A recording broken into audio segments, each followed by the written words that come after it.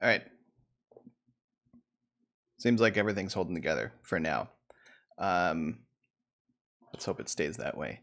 Uh, okay, so hope I didn't lose anyone. Let's see. Still got some people here. Seems like we got a got a, at least a quorum.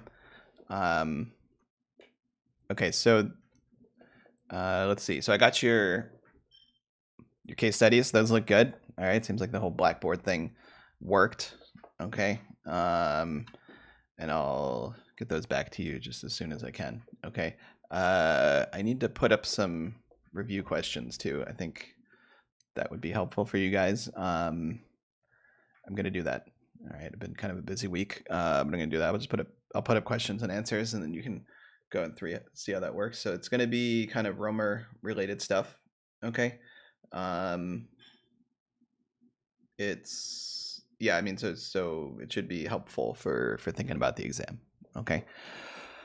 Um, and speaking of the exam, I'm trying to decide on the timing that we should do.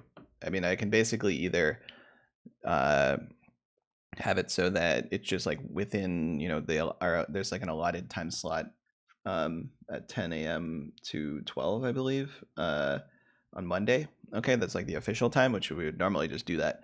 Um, and whatever the case may be, I'm going to give you extra, extra time because it just makes sense to, um, if, if, only because you need to, to scan things and and stuff like that. Um, but uh, the question is, I mean, I could give you I could give you more time. Okay, so if I were to give you like the whole day, okay, that would allow you to to schedule the exam like kind of when it's con- convenient for you. Um,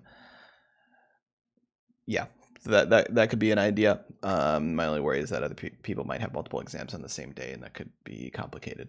All right, so um, yeah, I don't know if, if you guys have opinions on that, or if, if you have, uh, you know, what if you have an idea of what your other classes are doing, um, and and what your exam schedule looks like.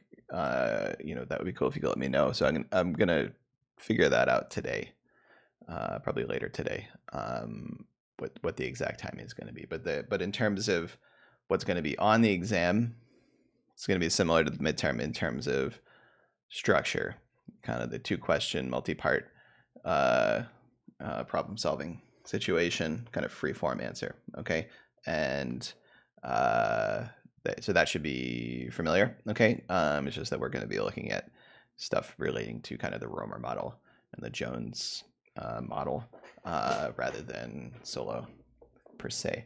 Um, yeah, so that would be the idea. Like you have, you know, maybe it's like you have three hours and you can start sometime during the day and send it to me when when you're done. Okay, so that obviously relies on kind of the honor system there. Um, so I could do that, or I could just sort of do it at the time, uh, put it up on Blackboard. Okay, so um, yeah, I don't know, I don't know what your other lecturers are doing. Oh, does it say Tuesday? I thought okay. Um, all day would be nice. Okay. Uh, yeah. So I mean, yeah. So I think that could be good. That that also alleviates issues of like it didn't get uploaded or something, or like some people can't access it. Some people can. All of a sudden, you're scrambling to to try and keep things basically fair. Okay, so um, doing an all day thing could be good. And I, I mean, we could also just do all day. You could use as much as time as you want. Okay, so this kind of thing. I mean, at some point, you run into decreasing returns on on time, right? You you you you've done as much as you can, right? And in a lot of cases, that's that's quite a bit, you know. And then and then you finish up. So um, it, it might it might just be good to to give a, a big time window and have you guys do the the open notes kind of style exam. Okay. Um, okay. So yeah, let yeah for my grad classes, I'm doing an all day kind of thing. So maybe I'll I'll do that for my for my undergrad for this undergrad class too. Okay. So um, and in that in that scenario, which which I guess is seeming likely, uh, in that scenario, maybe I post the exam at in the morning and then say you know get a B, get it to me by the nighttime. Okay. Um, so yeah, I mean I could post it at nine and then get it to be get it to me by like eleven fifty nine. Okay, just the end of the the day, the calendar day, basically.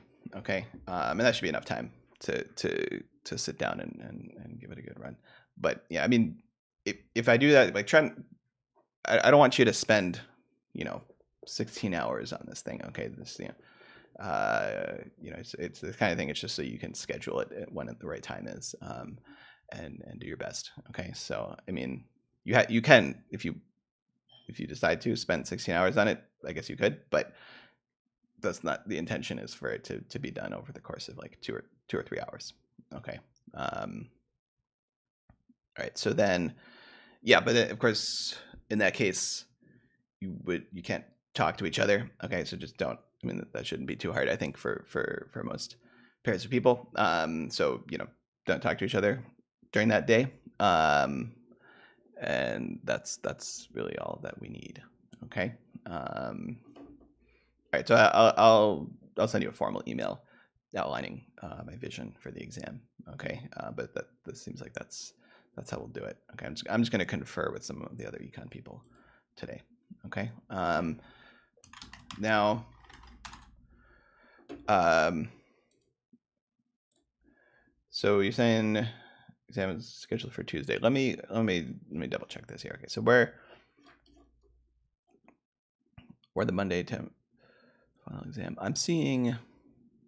Let me. I'll just show you what I'm seeing. So this is the uh, spring term. That's us, 2020.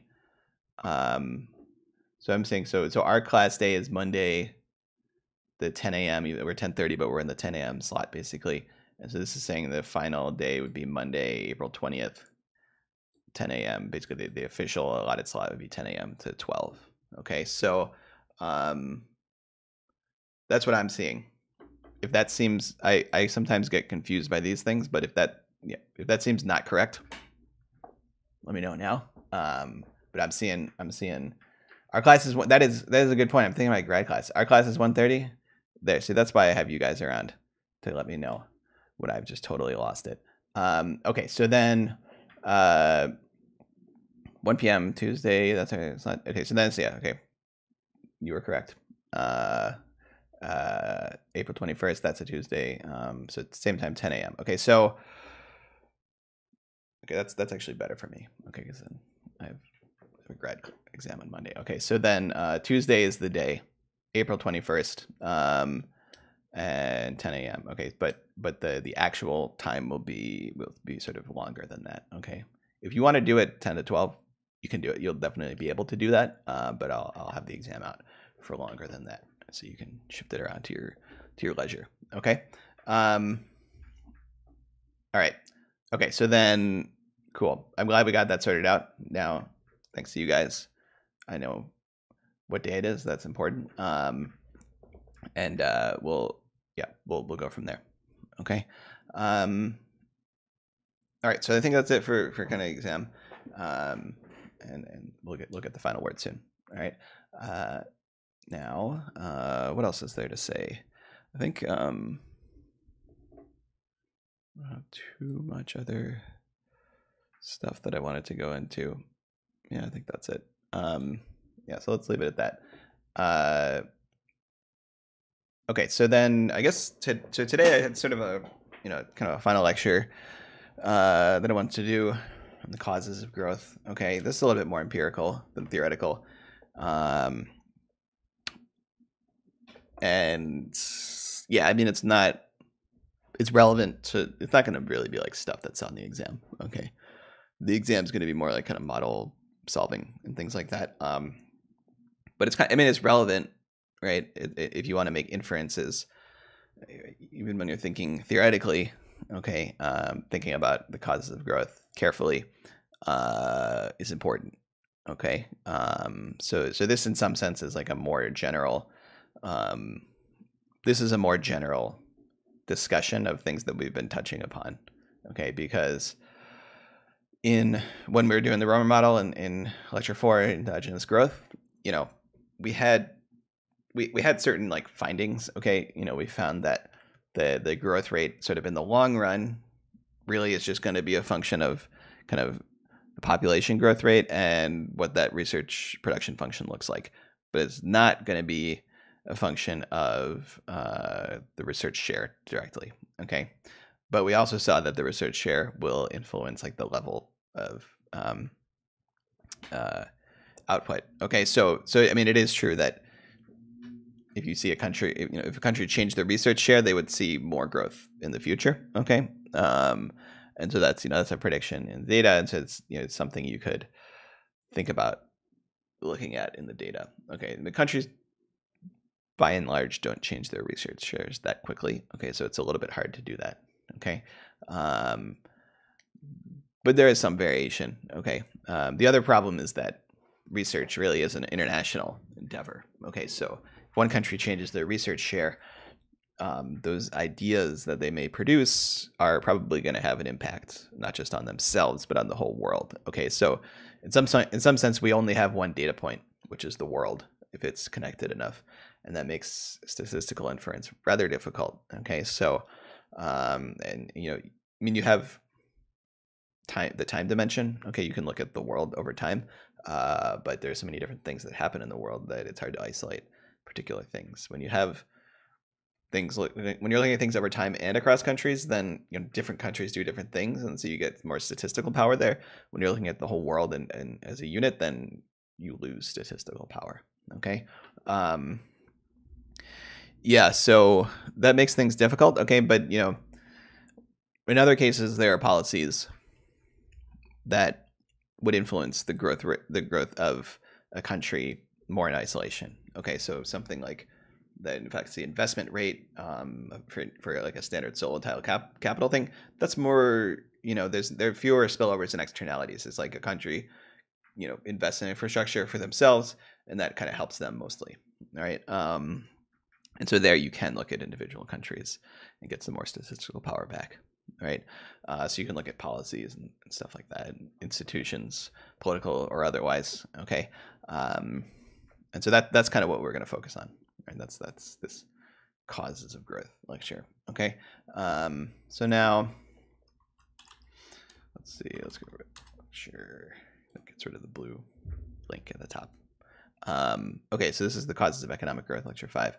Um, okay, so uh, essentially what we're going to do is keep working down that chain that we started with um, on Solow. Okay, so with Solow, we were like, well, we have some output, okay, and the question is what causes output to change over time? Um, and the answer there, I mean, the assumption really is that output changes because of either changes in population, changes in the level of capital, uh, relatively speaking, or the changes in something else, which we attribute, which we kind of then bin into some unknown called total factor productivity or technology. Okay, so we we kind of, but really what we do is we say, okay, well let's let's divide by let's take out population. That's pretty easy. You know, you just divide by population and turn everything into per capita numbers. Then you're like, okay, well now there's there could be more capital per capita, capital per worker. Um, let's factor that out in a way that's informed by that production function. Okay, so like, kind of assume the production function, and that lets us sort of factor out the capital components. So right now we're saying, okay, this country grew. They also invest in capital do we expect them to grow, but did they grow kind of more than we expect? If they grow more than we expect, then we're attributing that stuff to like this z factor, okay, which is which is could be technology, um, but it could be efficiency, right? It could just be the efficiency with which you use units. If you just throw stuff out, burn it, that's going to re- result in a reduction in z. Okay, so um, it, it's a combination of potentially many different things. Okay, um, but but that and so that's why it's some kind sometimes called the Solow residual. It's a residual. It's just what's left over. Okay, it's what we can't explain. Um, okay, so that the assumption was that kind of we can do that, right?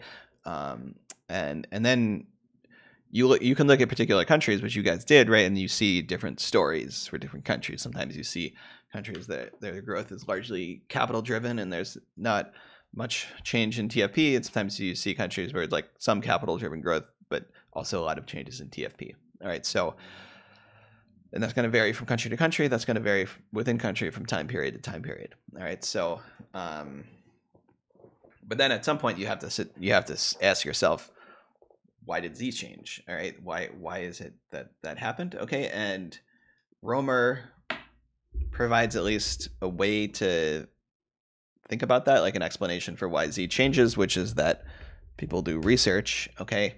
Um, and it provides an explanation but also like it uh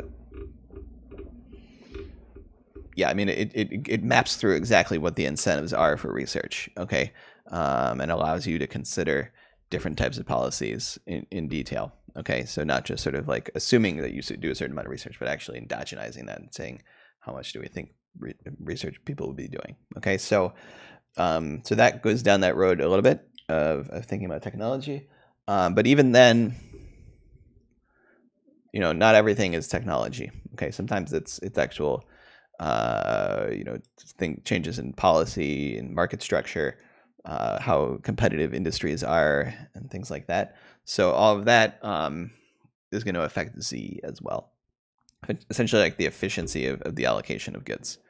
Okay, so that that can vary from that can vary from country to country, right? Um, especially if you think about like capital investment, different firms or governments do capital investment. Okay, and that's kind of determined by like finance.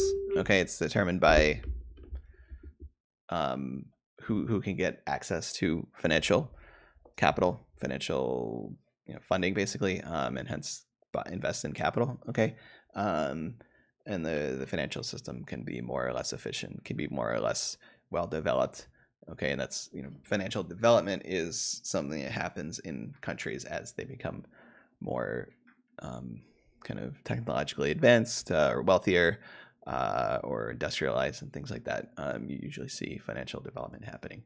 Um, there okay and and that's that that's where you with that with with things like financial development and, and political development then you start getting into really thorny issues of, of causality okay because you don't know what causes what. It could be that you, know, you see countries they industrialize and then they also develop financially in the sense of they get like formal banking and uh, security systems um, and uh, consumers or firms have more access to, to credit and borrowing get better ability to sort of track how things are going in terms of accounting standards um, you know it could be that that happened and that allowed for industrialization because all of a sudden people could could reliably invest in, in stuff. Um, or it could be that the possibility of industrialization spurred the financial development because if you want to do if you want to buy a big do a big capital investment build a factory you need finance. Um, and then so it's a question of was it the supply that changed or the demand that changed or was it both? Okay. Um, that's those are the causal the types of causality issues we're, going to be thinking about. Okay, and you can tell a similar story for the political side. Okay, so um, so so then once you once you go down that road, then you need to um, you start needing to you need a way to think about causality. All right, and this is it's like kind of you know it's, it's, it's sort of statistics and econometrics uh, tools that we're talking about here. Okay, but you need a way to think about causality. Um, is the okay? So he was a practice. Yeah, I'm gonna I'm gonna post her. Uh, they're gonna be review questions. You can think of it's basically gonna look like a practice midterm or sorry, a practice final as well. I'm gonna post that like yeah, I got I'm gonna post the the questions and solutions for that. Okay, so I'm gonna do that realistically tonight. Okay, um, I have some questions that I, from from before that I can that I can use. I just need to uh, make sure that they're still kind of using the, the same notation that we are and, and the, the solutions are up to up to snuff. Okay so that that'll happen that'll happen tonight. Okay um all right so then uh now let's let's so let's, let's you know if we want to go through this okay in terms of this the slides all right so this is you you can when i was talking about Solow stuff, okay, I, I, forgot to mention human capital. That's important too. Um, but with the Solow stuff, you know, essentially that that decomposition that I was talking about, that you know, you can express that uh, either in terms of this production function Okay, this is, this is an assumption, but you can express it in terms of production function, which then leads to if you kind of take the growth rate of this whole equation here, you get this this growth rate equation. Um, and and so this is that decomposition, right, where you're looking at changes in in output and seeing how much is coming from capital, how much is coming from human capital potentially, and then what's left over from technology or other. Okay, so this is this is that Solow decomposition, and this these are these are what I call proximate causes. They're things that you can see that sort of immediately predated and are related potentially to changes in output. Okay, but we don't know why necessarily these happened. We also know that there's there will potentially be causal linkages between even between these things. The the main one that we talk about is that you know if there's a change in technology, that's immediately going to increase output, but it's also going to induce an increase in capital investment, which will then have some follow-on effect later on. Okay, so so even there, like between these things, there are causal linkages. Okay, so if you just see capital changing, okay, you don't really know if that's because of some systematic change in the investment rate or if it was because of a change in technology or both. Okay, so um, and you can you can you know there's that Jones trick to get around it uh, by by looking at the ratio of capital output, um, but but that requires the assumptions basically, and and that's um, yeah it requires. I mean it's it's not it's not sort of a surefire thing. Okay. Um, all right, so this doesn't look great. I gotta do the zoom trick. There we go. Okay, so um, yeah, and this is what I was. This is actually this is that that Jones trick. Okay, where you kind of swap things around and and and look at this ratio of capital to output. Okay, which which is going to be kind of constant in a Solow setting. Okay, so you can try and account for that. Okay, but you know, it could be that other things happen. It could be that an increase in productivity also spurs an increase in, in the investment in human capital for various reasons. Okay. Uh, the internet or something like that. Okay. So, so there's all sorts of ways that these things could be linked that we don't, we can't always come up with a way to account for them. All right. Um, okay. So then that's why we're going to look for, instead of just proximate causes, we're going to try and think a little bit more about fundamental causes. Okay. Now, um, there's there's a whole kind of vocabulary that's been developed, this you know, system of terminology that's been developed to to think about these types of more fundamental causes. Okay, um, so I think. I mean, there's a one kind of dichotomy that people have created is is between this institutions and culture, and it's a little fuzzy actually. Like, if you think about it too hard, sometimes it breaks down. Okay, um, but essentially, um, it's it's kind of like a formal. Well, yeah, I mean, so so institutions are are rules governing interactions between people. Okay, so you can think about very formal types of institutions like political systems like the Constitution of the United States that sort of delineates how things should be done, but not always. Um, and you know, so I mean, it, it delineates how elections basically should happen and stuff like that, like electoral college and so on. And that's generally how it goes down, right? So um, you can you can think about that, okay, and that's going to have, you know, that will determine political outcomes. It'll determine economic outcomes partially, um, and so so those are considered institutions, okay you can think about more economic institutions in terms of what is the nature of antitrust law, for instance, in the U.S. You know, so for you know, you have to certain mergers need to be approved by the uh, I guess FTC. Um, you know, so you know, if you think of it, two of the major internet companies. It's like Comcast and someone someone merged. It wasn't Verizon and might have been Verizon and Comcast. There's some big merger, but you know you got to get this stuff approved. Okay. Um, and so like how that happens is a thing, right? And obviously there were big changes in antitrust law um, in the the you know the end of the 19th century, early 20th century.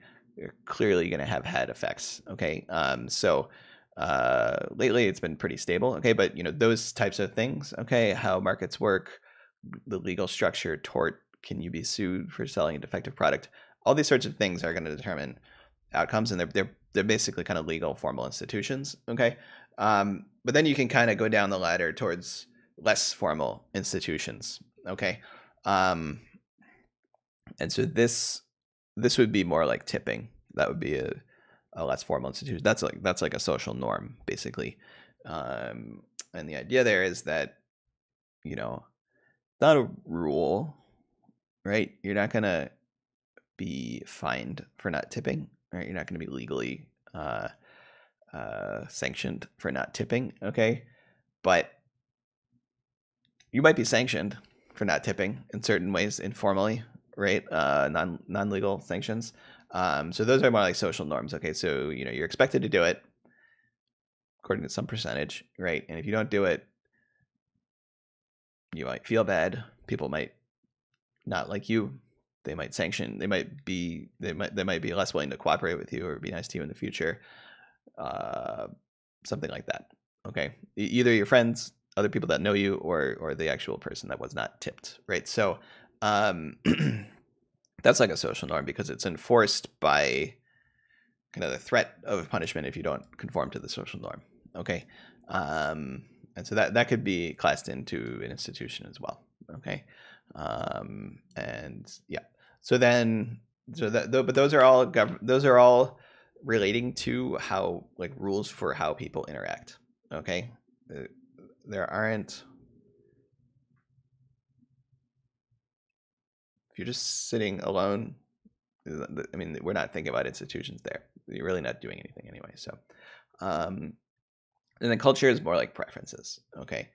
Uh, so here it's like you know, kind of like religious stuff. Okay. Um, and obviously religious stuff relates, you know, that relates to institutions. So, um, it's a good, I don't know. Good, I mean, if you think about, uh, there are various in the economic realm, especially there are various religions that are sort of more in you know that are, that are not super cool with uh, charging interest on loans. Okay, so that actually directly kind of constrains how people can interact financially. Um, so uh, this you know this whole Islamic banking thing that's that's that's pretty big nowadays. So um, you know that that's the thing where it, the religious stuff is actually institutional and and and, and so on. Um, but if you think about sort of uh, preferences or just like what do people like? Do they, you know, do they like drinking wine or do they like drinking beer? You know, I mean, like, um, just there's things like that that are more internal. Okay, they're still persistent, and obviously, culture is a social thing, right? It's not, it's not, but but it's also sort of can you can think about it as a property. It's something that determines people's preferences,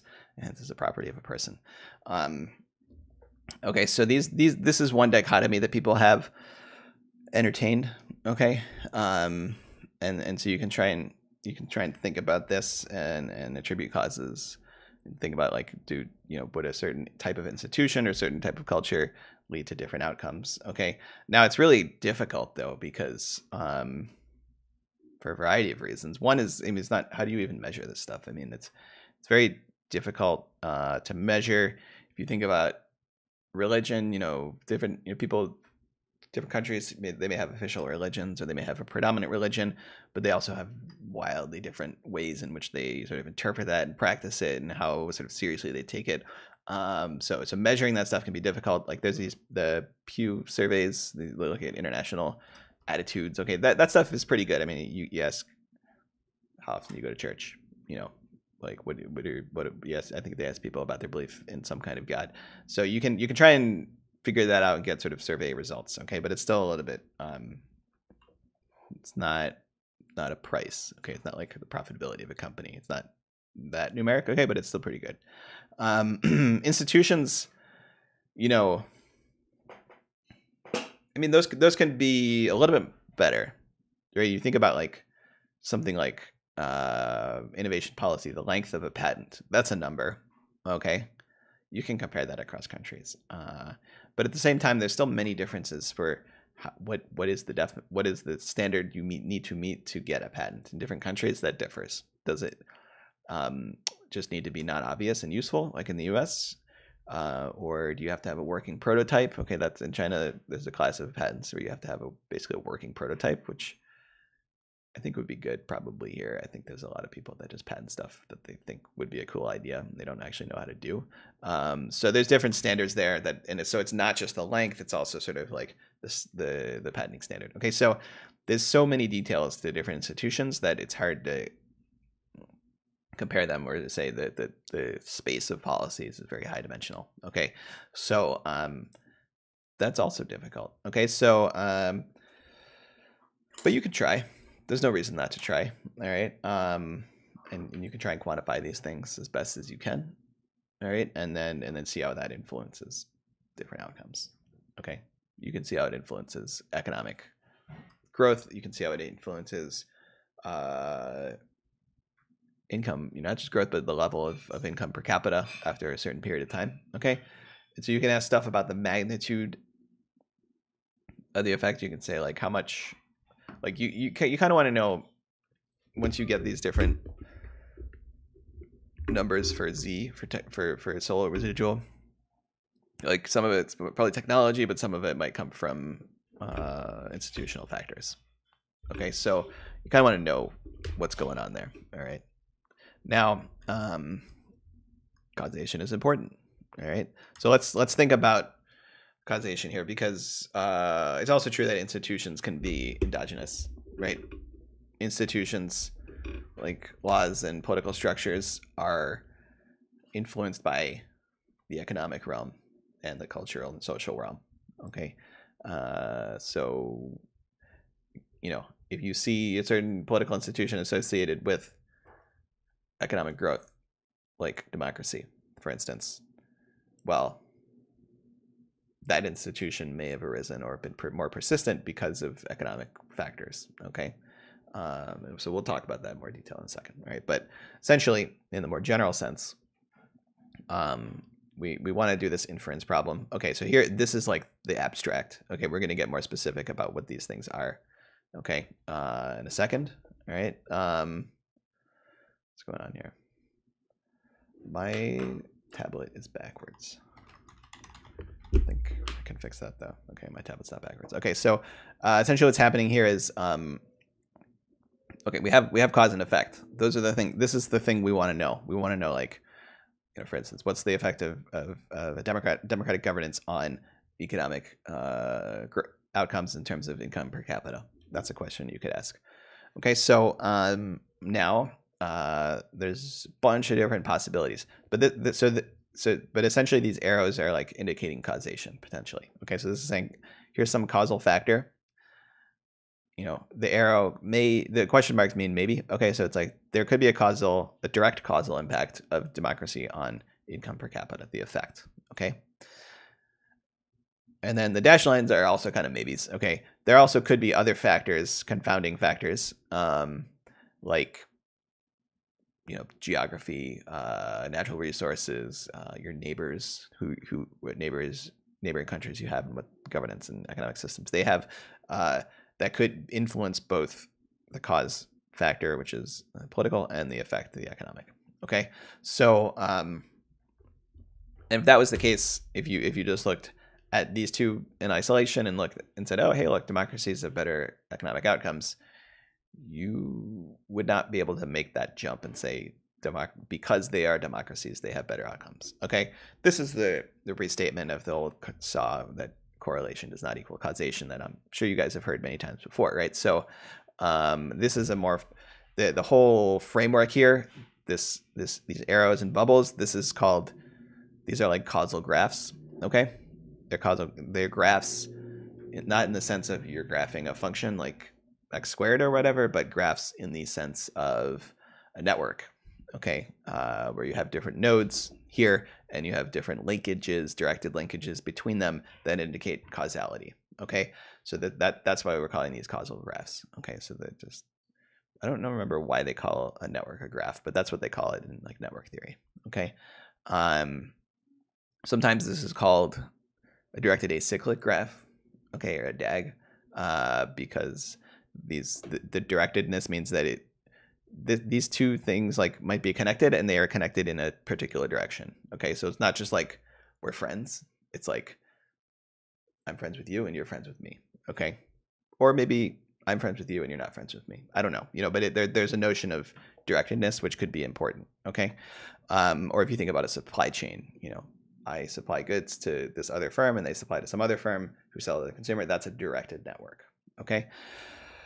And then the acyclic part, acyclic part uh, means that there isn't cycle. There's not a there's not a route where you can follow the arrows and go in a circle and end up back where you started. Okay. That might not always be true, actually. Like with the with the supply chain, it, it might it might be cyclic. You know, Ford makes cars that they sell to someone else that makes something that Ford buys that they use to make cars, and it's it's all it's all the circle of life, you know. So, um, but and it, even in the causal causality realm, where you have different factors that are potentially causing each other, you might have a sort of co-determination dynamic. Okay, so we'll talk about that. But that's that's the causal graph notion.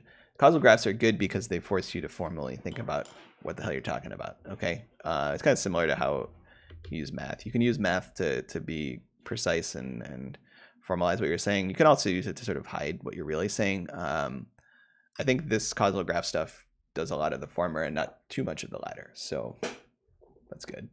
Um, all right, so then let's think about that. That's more specific example. Okay, so we're thinking about the uh, relationship between political stability specifically. Okay, so I was saying democracy, but let's just say it's stability. Okay, so maybe you're um, uh, very vibrant democracy like Taiwan or something, um, or maybe you're more like Singapore, a little bit, but more on the autocratic side, but not too much, um, or maybe you're just not democratic. Okay, but but but the stability factor could be uh, could be important. Okay, just sort of predictability. You know that there's not going to be some big revolution, and you're gonna, you know, lose all your whatever you had, or you know, uh, maybe you're a business owner and you had a factory and you're gonna it's gonna get expropriated or something like that. Okay, so um, you'd think there's gonna be some relationship between political stability and economic growth, but also other stuff. Okay, so so the we're gonna go through different options. I'm not saying this is the way the world works all the time. I'm just saying these are. Let's think about what we could possibly conclude. Okay. Um, so one one thing that could be true is that there's just there simply is direct causality. Okay, sometimes things are not as complicated as we fear that they are. Okay, sometimes it's just direct. You know, uh, A causes B. All right, so um, so it could be you know that having political stability uh, means that different actors can predict the future more reliably and hence make decisions about investment or you know physical capital investment, human capital investment, and so on, uh, career choice, and everything like that. Um, and and they can do that in such a way that's more beneficial for themselves and, and society at large. Okay, um, that could be a thing. Probably is a thing. All right. Okay, now there's the so-called reverse causality. Okay, so reverse causality, I mean, like, question is reverse from whose perspective? It's reverse from kind of the naive, what you would, the the direct causal um, uh, notion that you might have. Okay, so here reverse causality would be that economic growth actually leads to political stability, and uh, so here, you know, you have if you have a prosperous country, they can pay their um, well, just their legislators more. They can pay their their civil servants more, and things like that. Um, and people are generally kind of happy, okay, and they may not be prone to revolutions, either violent or nonviolent, uh, because they're okay with the current situation. Okay, um, I think that's. I mean, this this is a dynamic everywhere. You hear it more. You, you hear it talked about more often in the context of uh, more autocratic countries like China, where it's sort of this grand bargain of, okay, we're going to provide economics uh, growth, which largely have I think for most people. Uh, and in in return, like you're not going to complain too much. Okay, that's that's the grand bargain um, that that people see in China. Um, but I think also implicitly that that's probably true everywhere. I mean, if people the economy is doing terribly, eventually people are not going to be happy. Okay, Um, in a democracy, they have a safety relief valve, which is elections. And so maybe that's that's that's a more stable way to adjudicate that process. Okay, so um, but but in general, you wouldn't be surprised if there was a direct, also uh, effective economic growth on political stability. Okay, um, so that's the reverse causality story in this from this particular perspective that we had taken. Okay, um, and now the thing about that is, okay, so with the direct causality, if you if you looked at the correlation between these two things, you would see a positive correlation. With reverse causality, if you looked at the correlation between these two things, you would see a positive correlation. Potent- so you have no observationally, you basically cannot distinguish these two scenarios, right? That's a problem because you can't you can't determine the true nature of the world from this data. Okay, um, okay, so that's that's like problem number one. Okay, there's even more problems though. Okay, there, there's more there's more possible outcomes. Okay, there, there's there's many possible outcomes. Um, so the third major class of sort of uh, true natures of the world that could we could could actually be the case uh, in this setting would be something like third cause or confounding factor scenario. Okay, so here um, you have some other factor which we're going to just introduce and say in this case, let's say it's social trust. Okay, um, and that can potentially influence both economic growth and political stability. Okay, so social trust is, I mean, it's it's the combination of those two words. I mean, it's it's uh, you know, it could it could be relevant for business for like finance. If you loan someone money, do you kind of think that they're going to be a reasonable person? Like tipping, do you really, do you think someone's going to tip? Okay, and and uh, hence are you going to like give them good service? Um, you know, there's all sorts of uh, ways in in which social trust can be important. And it's a, it's but it's it's inside people's head. I mean, heads. It's, it's a, it's a social factor, but it's definitely something that varies from country to country. Okay, and from time to time. Right, from place to place. Okay, so um, let let's just say that that's a it's a it's a thing that could be out there. All right, and and you might expect in situate in countries or situations where you have high social trust you would have potentially high economic growth and uh, political stability. Okay, so with economic growth, it's like sort of the finance angle. Like people are just like they're more willing to take risks and, and rely on other people. Okay, uh, their supplier is going to actually deliver the goods rather than go bankrupt and so on. Okay, um, and then on the political stability side, I mean, it's like you know, pol- politics is a delegation game. I mean, you you delegate for a certain period of time. Uh, you delegate the authority to rule to a set of people or a person, right? So um, the level of trust could be important there. Okay. And then it's like you might have if you, social trust is also kind of you have different factions in a society and how how do they get along? Like uh, polarization, which is a big thing now. Um, so there, you know, that obviously also would would influence political stability. Okay, with like either within democratic system or thinking about going from democratic to non-democratic systems and things like that. Okay, so um, so you could imagine that being another thing. All right, and that would be a confounding factor, and it would still be the case even in this third option that if you looked at the correlation between political stability and economic growth, assuming that story I just told was true, it would be positive. Okay. Um. Yeah, I mean, it, you know, I'm saying positive correlation here. You, you could have negative correlations too. Okay, it could be that It'd be kind of weird, but it could be that social trust is bad for economic growth for some reason. That people trust each other too much and they get comfortable and they're not competitive. I don't know. It's it's a little bit of a weird story, but there's examples you could give of negative correlations. But it's the same idea is that if you see this negative correlation, you can't you can't distinguish is it scenario one direct, is it scenario two reverse, is it scenario three indirect, confounding factor. Um, whatever, whether the correlation is positive or negative, you always have this problem of inference. You can't figure out which state you actually are in. Okay. Um, okay, and then there's there's some other more exotic scenarios. The one, two, three that I just gave you, direct, reverse, confounding, are the main ones. Okay now you, you can also think that there are others. Okay, um, so the, the this one is the mutual feedback. This is where you get into that cyclic thing. So here you can see there's a cycle. You go from political stability, which causes growth, which causes political stability, and so on. That's a cycle. All right.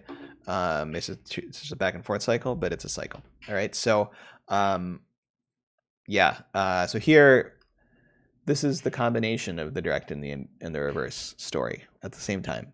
Okay, they were both plausible, and this this might be a plausible uh, uh, scenario. Okay, so here, you know, they're they're both kind of influencing each other. And now, when you get into these sort of feedbacks, okay, inevitably you have you think about a sort of intertemporal dimension, which is that you know, political stability today or expected political stability in the future causes economic growth as it happens in the future or into the future, and then economic growth today will sort of lead to political stability, and stability is a notion that happens over time. Okay, it's like the, the lack of volatility.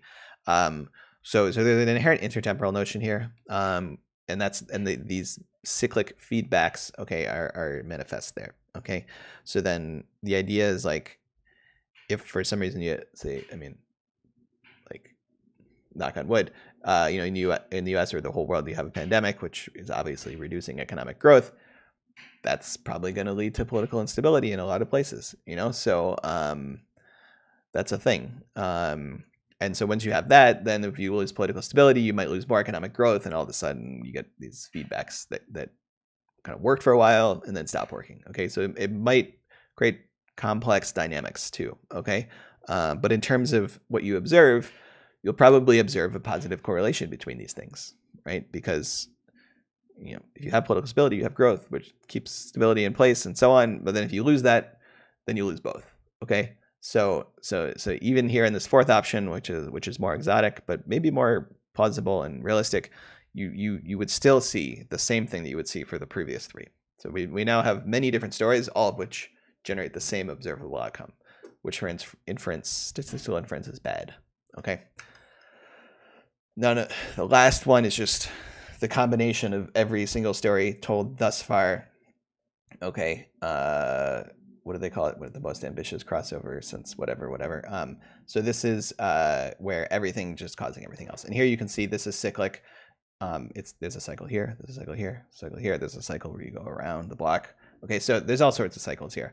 Um, and so here, you know, this is also saying, okay, you know, social trust is also a thing that's determined by other factors. Um, I think maybe economic growth to social trust is a pretty interesting dimension because you see when economic growth slows down, you get scapegoating, especially along uh, ethnic lines, right? So that that's an example of uh, social trust, you know, being influenced by economic growth. Okay, so you can uh, you, you can often tell the reverse causality story, and here I'm telling all of the stories at once. Okay, um, yeah, so that's difficult. All right, it makes things very difficult. Is what I'm saying. Okay. Um, all right. So then let's. I've, I've now built up this, this sort of intractable problem. The question is, can we actually solve this? Okay. Can we be clever and actually solve this? Um, yeah, sometimes. All right. There are methods. Okay. Um, and and the, the essential idea is we want to get back to sort of something more like the scientific method or a scientific experiment. Okay. Or as much as we can. We can never truly get there in this kind of setting because we can't experiment on the world okay uh, either because it's technologically practically infeasible or because it's unethical um, and so uh, we need to be a little bit more clever right? So uh, but but the basic idea if you think about what is a scientific exper- experiment in this uh, causal graph language okay uh, well it's basically saying we want to know the influence of x on y okay? We create an isolated system that has no other influences. You know, we put it on a, a shock absorbing, you know, platform and, you know, sound absorbing room, whatever. Turn off the lights. Um, and we want to know what, what, how does X influence why, you know, the classic Arrhenius experiment would be like, how does the, the concentration of CO2 in a box influence this equilibrium temperature when it's exposed to a light source, um, which is the, the kind of the simple intuition for global warming. Um, and uh, yeah, so you you the scientist you you do an intervention. You say, okay, we're going to change the level of CO2 and then see what happens to the equilibrium temperature. Okay, so um, that's uh, that's that's how you would think about an experiment in this context. And the important thing, the important features are the intervention influences X. Okay, so you change that CO2 concentration in the box. It doesn't influence Y. You don't like accidentally make the light brighter. You don't accidentally just change the temperature of the room in the process of doing this. And that's just being careful, basically. Um, so you don't accidentally just directly influence the thing you're trying to measure. That would be bad. Um, and also, there's no arrows coming in from the outside. There's no other stuff that's like affecting both of these. Okay, so so those are the critical things. It's an isolated, controlled experiment. Okay, and that's how you can think about this. And if you do it right, you can see, okay, I changed x, and here's how much y changed. That's your answer, and that's a direct causal statement. Okay, uh, maybe you repeat it a couple times just to be sure. Okay, now we can't do that. All right, that's this it's, you know, you, you know we have we have Pitt, we have the experimental lab. They do that. I shouldn't I shouldn't like say we can never do that. That definitely experimental economics is a really big important thing, and and I'd say not I'm not speaking for myself because I'm not an experimentalist, but Pitt's pretty darn good at it. Okay, so and and I don't know you guys I assume probably taken part in experiments. I, I was I was I did experiments when I was an undergrad. I thought it was pretty cool. I even made a little bit of money one time. Um, so yeah, you can definitely do experiments, but we're in macro here, so it's a little bit harder. Okay. So then what what are we going to do if we're at the macro scale and we can't do experiments? Um, well, uh, we can work on that. There's two things. There used to be a guy named John Duffy that was here. Sadly, he left for for sunnier locales in California, I believe. Um, he did macro experimental, so he would just do experiments with like a bunch of people and see what happens. Okay, so that's one option. Now the question is, when you go from 100 people in an experiment to you know 350 million people in a country, do your dynamics change considerably? Very possible. Okay, so um, but yeah, so so let's just say we're going to try and do this. We're not going to do a direct experimental approach, but we're going to try and do something else. All right. Um, and that other thing is sometimes called a natural experiment. Okay. It's when something happens in the past and you think from that you can kind of infer something. Okay, so it, so it's essentially some potential accident or historical occurrence happens um, that you think for various reasons will influence your x variable, the thing you want to understand, the, the causal variable that you want to understand, and then uh, y, the the the outcome variable that you want to look at. Okay, um, so so now the question is, is that the case? Is it the case that this historical factor um, only influenced x but didn't influence y? Okay, so you can think of um, historical occurrences. Okay, um, that might you know think about like I mean, I guess the pandemic is one big thing, right? But that influences everything, right?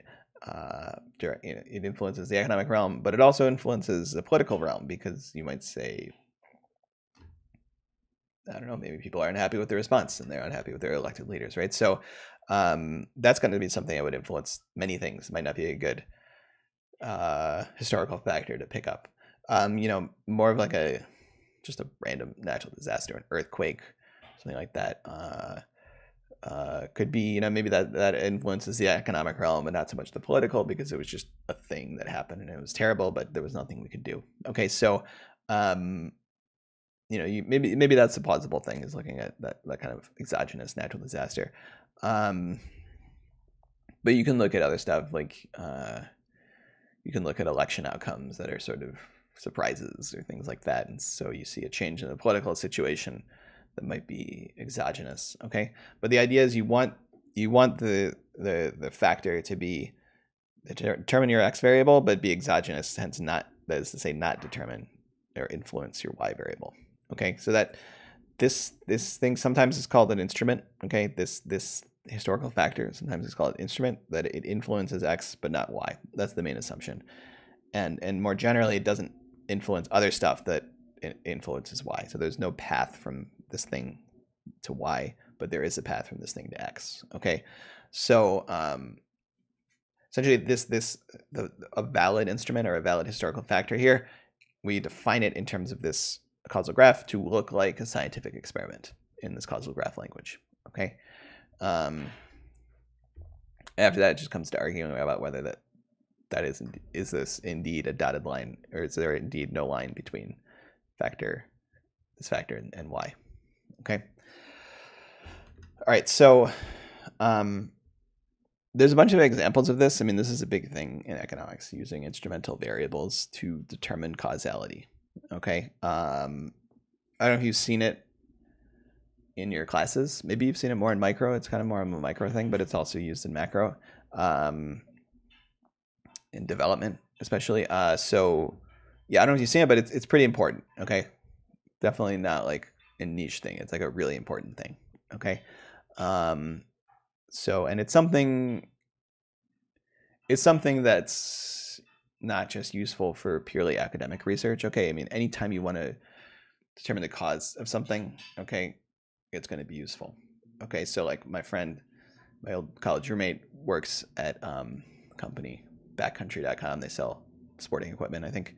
Uh, so they wanted to know like, what's the cause? You, you, they call up their customers sometimes, their best customers, and say like, "Hey, how you doing? Like anything we can get you?" Um, and uh, they want to know like what's the effect of doing that, right? Now, I mean,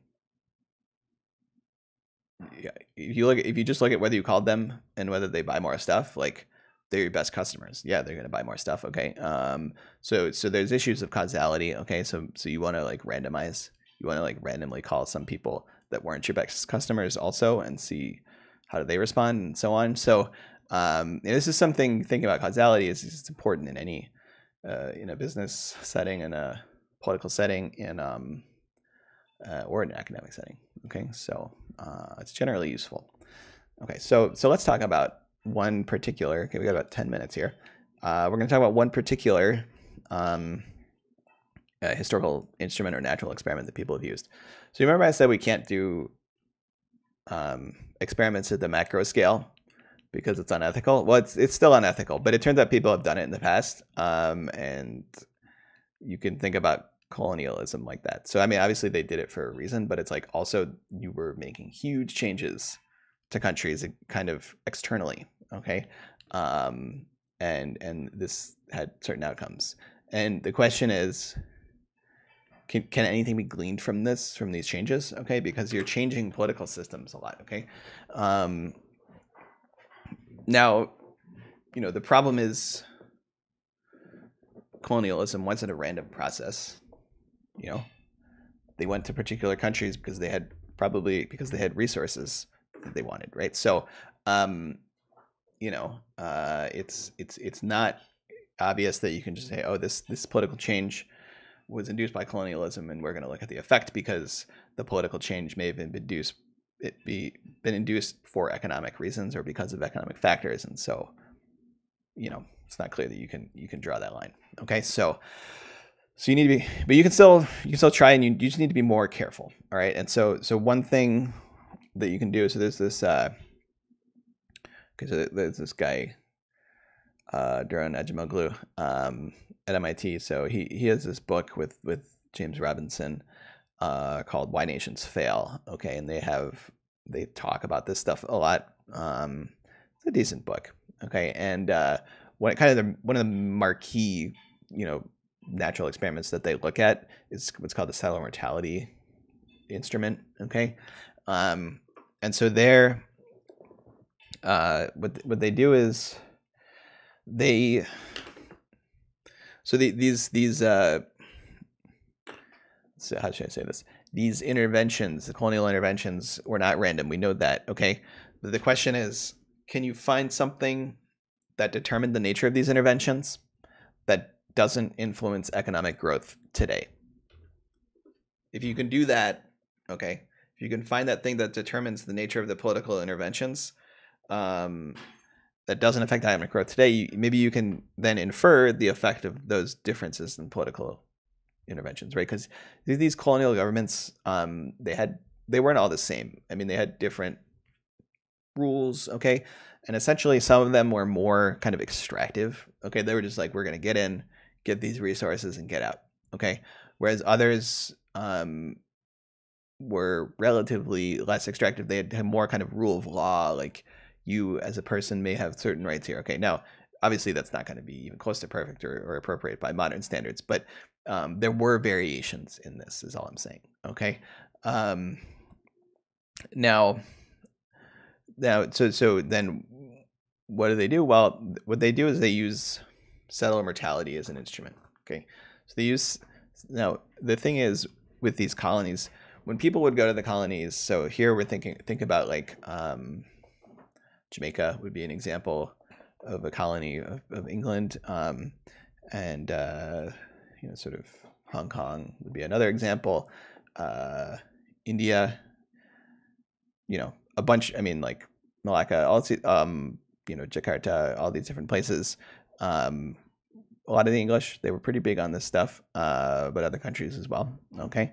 um, like the Dutch uh, and things like that. So if, if, you look at in the French, if you look at this um, dynamic, generally though, uh, people coming from Europe didn't have a lot of uh, gen- like sort of um, acquired immunity. Uh, I guess it would be genetic or, or potentially non-genetic acquired immunity to diseases, tropical diseases. Okay, so tropical diseases are, are fairly deadly regardless what the situation is.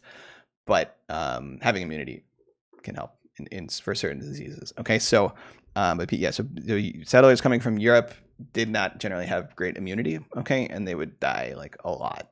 Um, so you know, yeah, I mean, the numbers are if you look at the numbers, it's pretty shocking. Actually, the, the fraction of people that would go and just kind of perish from disease. Okay, that was true generally at the time, but it was even more true for for settlers. Okay, so um, so you can look at uh, differences in that. Okay, you look at I think I think Jamaica had a really high settler mortality, if, if I recall correctly, whereas other countries had lower ones. Okay, so you look at variations in that. Okay, so especially if you go down to like Argentina or something, um, tropical diseases aren't as much of a thing there, um, and there's probably lower settler mortality. Okay, so um, if you look, if you look at this dynamic, then essentially the, the logic would be countries with high settler mortality. That was more the extractive. They just go there and um, they, they their only goal is to to sort of set up a little station so they can extract resources. Okay. Um, uh, whereas in other countries, maybe that's more like they go there and live there and they they set up institutions that are more kind of inclusive or expansive. Okay, so um, and then the idea is that you look at these variations in institutions and see how they lead to economic growth in the future. Now it's a little funny because it's like, well, the high settler mortality probably not good for business, right? Even you know even today it means that disease is more of a problem there, and hence. Um, uh, just generally, it's it's harder. You know, economic growth may not be as good because disease is bad. Um, and there's some truth to that. The, one thing though is that, um, you know, settler like settler mortality it's different from from the mortality of someone who is who grew up there and lives there. Okay, so um, because of the different the different types of diseases. Okay, so so it's not as sort of problematic as you might think. Okay, um, uh, that that's one thing. Okay, but so if so if you buy this though, you know that the settler mortality influenced um, these institutions. Okay, uh, but the but the, the settler mortality back then didn't doesn't influence economic growth today. Okay, or economic outcomes today. Then this would be this would be the argument for a valid instrument.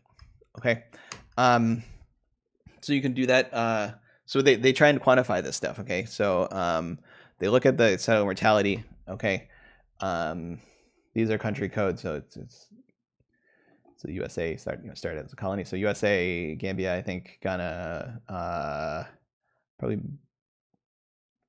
Mal- Maldives or Malawi. I'm not sure which one.